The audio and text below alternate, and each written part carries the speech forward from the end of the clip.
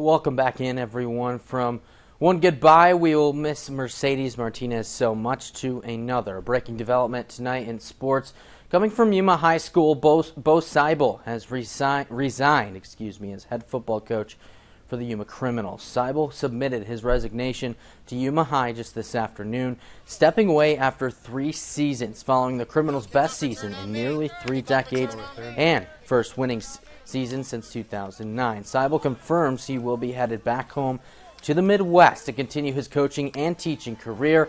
Now, despite a 7 3 record in 2022, the Criminals season ended on a sour note by being left out of the 3A playoff bracket, but it ended nice and well with a win and a statement provided to us just a few hours ago from Seibel. He said, quote, the program is in good hands and we have taken the steps in the right direction. We have talked about growth as a unit and what it takes to move forward in life. Unfortunately, my time at Yuma High is coming to an end and my path has taken me in another direction, end quote. Seibel went on to say that he wishes the best for his coaches and players and will definitely hold on to the memories they have all created. Now, Scott, um, now just to, to, to, touching on that, you know, a tough blow for Yuma, but at least the Seibel era ending on a good note. Coach even telling us that he got to spend the last couple of days with the team, talking about it, reminiscing about all the great moments they made together, especially this year. Great moment for those seniors that they have, but uh, kind of devastating news for those juniors now that are right. kind of left to pick up the pieces in that uh, seven and three season. So, but uh, there's a lot of leadership there. Those seniors are leaving those juniors and sophomores with a taste of what it's like. So hopefully, uh, that'll right. be enough. And with a new coaching staff coming in there, I know they uh, told you and told me some names that they'd like to see right. fill those shoes. That we'll have to wait and see what happens. It's kind of like Christmas for us to see right. who's going to slide into that role. Yeah, but uh, what Coach Seibel did there for a couple of uh, couple of seasons there in short time. He turned that thing around, uh, held up people accountable both uh, in the classroom and on the field. So that's a culture that hopefully we'll get to see continue with this coaching staff coming in. We wish the best mm-hmm. to Coach Bo Seibel in his future endeavors, of course. But now we got some highlights to get to from tonight. So there are still sports going on despite the news out of Yuma. To Bob McClendon Court at the Palace, staying on the campus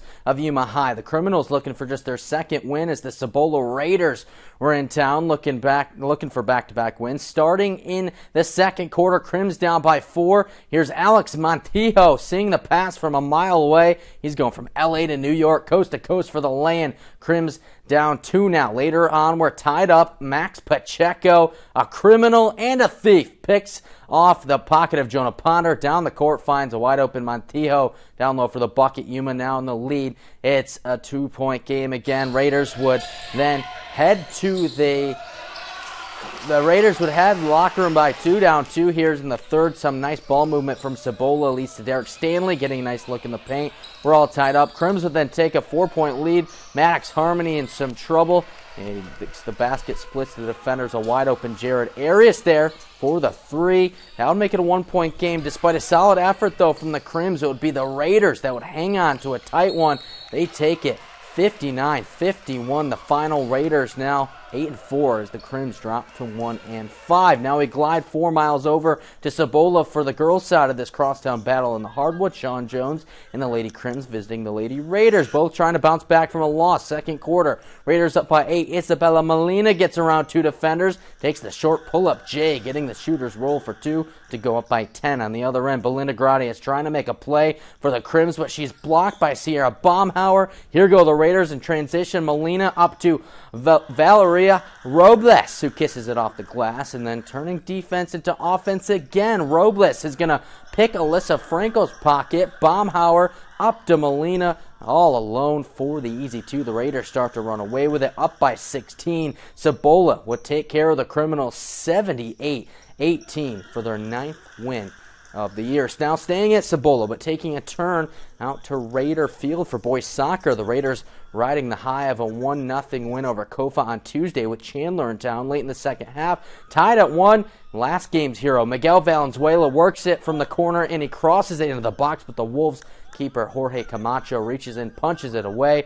Nathaniel Claudio can't get there in time. It's cleared out. Se- final seconds. Last chance for Chandler on the corner. That's a laser, but there's a collision here. The Nat ball squirts away. That sends us to overtime.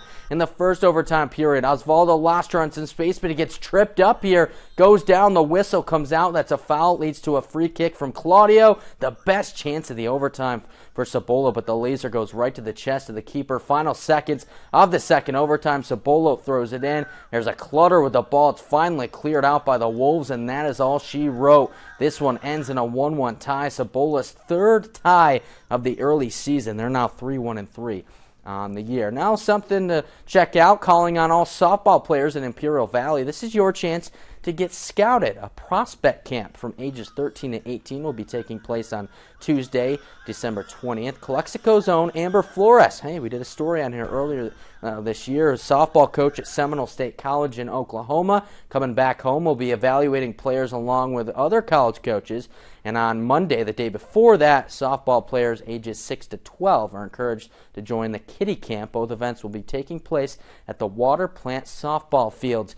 And you can go ahead and scan that QR code right there to reserve your spot. For more information, head on over to our website at kyma.com. That is all the time we have for sports.